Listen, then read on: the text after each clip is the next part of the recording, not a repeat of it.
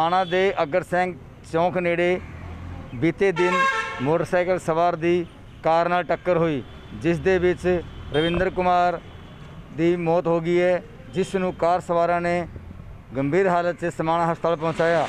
ਹਸਪਤਾਲ ਦੇ ਵਿੱਚ ਜਦੋਂ ਉਹਨਾਂ ਨੂੰ ਪਤਾ ਲੱਗਿਆ ਵੀ ਵਿਅਕਤੀ ਦੀ ਮੌਤ ਹੋ ਗਈ ਹੈ, ਤਾਂ ਉਹ ਮੌਕੇ ਤੇ ਉੱਥੋਂ ਫਰਾਰ ਹੋ ਗਿਆ।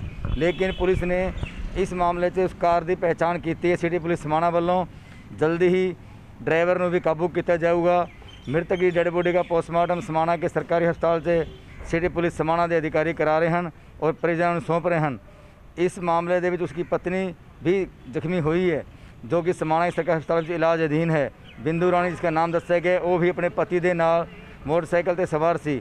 ਆਉਣ ਵਾਲੇ ਸਮੇਂ 'ਚ ਪਤਾ ਲੱਗੇਗਾ ਕਿ ਪੁਲਿਸ ਕਿੰਨੇ ਦਿਨਾਂ ਬਾਅਦ ਕਿੰਨੀ ਜਲਦੀ ਕਾਰ ਚਾਲਕ ਨੂੰ ਗ੍ਰਿਫਤਾਰ ਕਰਦੀ ਹੈ ਔਰ ਪਰਿਵਾਰ ਨੂੰ ਇਨਸਾਫ ਦਿੰਦੀ ਹੈ। ਇਹ ਨਾ ਅਗਰ ਚੌਂਕ ਸਮਾਣੇ ਹੋਇਆ ਤੇ ਉਹ ਬੰਦਾ ਜਿਹੜਾ ਆਨੰਦ ਨਗਰ ਬੀ ਦਾ ਰਹਿਣ ਵਾਲਾ ਹੈ ਰਵਿੰਦਰ ਕੁਮਾਰ ਇਲੀਸ ਰਵੀ ਸਨ of ਹੇਮਰਾਜ। ਹਾਂਜੀ। ਤੇ ਕਿੰਨੇ ਵਜੇ ਸੂਚਨਾ ਮਿਲੀ ਆਪਾਂ ਨੂੰ? ਆਪਾਂ ਨੂੰ 5:30 ਵਜੇ ਸ਼ਾਮ ਨੂੰ ਰੁਕਾ ਆਇਆ ਜੀ ਥਾਣੇ। ਜੀ। ਹਾਂ ਤਾਂ ਉਸੇ ਟਾਈਮ 'ਤੇ ਮੈਂ ਆ ਕੇ ਨਾਲ ਮੇਰੇ ਪੁਲਿਸ ਪਾਰਟੀ ਸੀ। ਇਹ ਇਹ ਮੋਟਰਸਾਈਕਲ ਤੇ ਸਵਾਰ ਸੀ ਜੀ। ਮੋਟਰਸਾਈਕਲ ਤੇ। ਕਾਹਦੀ ਲੱਗੀ ਇਹ ਨਾ ਕਾਰ ਸੀ ਅਲਟੋ ਇੰਨਾ ਕੁ ਪਤਾ ਲੱਗਿਆ ਵੀ ਕਾਰ ਅਲਟੋ ਸੀ। ਇੱਥੇ ਹਸਪਤਾਲ ਦੇ ਸਾਹਮਣੇ ਐਮਰਜੈਂਸੀ ਦੇ ਸਾਹਮਣੇ ਛੱਡ ਕੇ ਗਏ ਨੇ। ਤੇ ਜਿਹੜੀ ਅਲਟੋ ਕਾਰ ਆ ਉਹਦਾ ਨੰਬਰ ਹੈ PV 11 AE 69 ਜੀ। ਤੇ ਹੁਣ ਉਹਦਾ ਕੋਈ ਟ੍ਰੇਸ ਹੋ ਗਿਆ ਹੋਇਆ?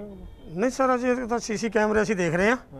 ਅਜੇ ਟਰੇਸ ਤਾਂ ਹੋ ਜਾਊਗਾ ਜੀ ਕਿਉਂਕਿ ਆਪਣੇ ਕੋਲ ਕਾਰ ਦਾ ਨੰਬਰ ਆ ਗਿਆ। ਤੇ ਆ ਪੋਸਟਮਾਰਟਮ ਬਾਅਦ ਤੋਂ ਬਾਅਦ ਜੀ ਅਗਲੀ ਕਾਰਵਾਈ।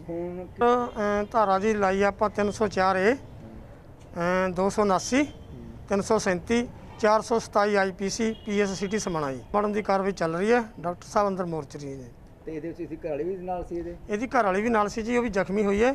ਉਹ ਵੀ ਸਮਾਣੇ ਆਪਣੇ ਸਰਕਾਰੀ ਹਸਪਤਾਲ ਇੱਥੇ ਦਾਖਲ ਉਹਦਾ ਹੈ। ਕੀ ਨਾਮ ਦੱਸਿਆ? ਉਹਨਾਂ ਦਾ ਨਾਮ ਬਿੰਦੂ ਰਾਣੀ ਹੈ ਜੀ। ਕੈਮਰਾਮੈਨ ਬਾਲ ਸਿੰਘ ਗਰਗ ਦੇ ਨਾਲ ਪੁਰਸ਼ੋਤਮ ਕੌਸ਼ਿਕ ਸਮਾਣਾ ਨਿਊਜ਼।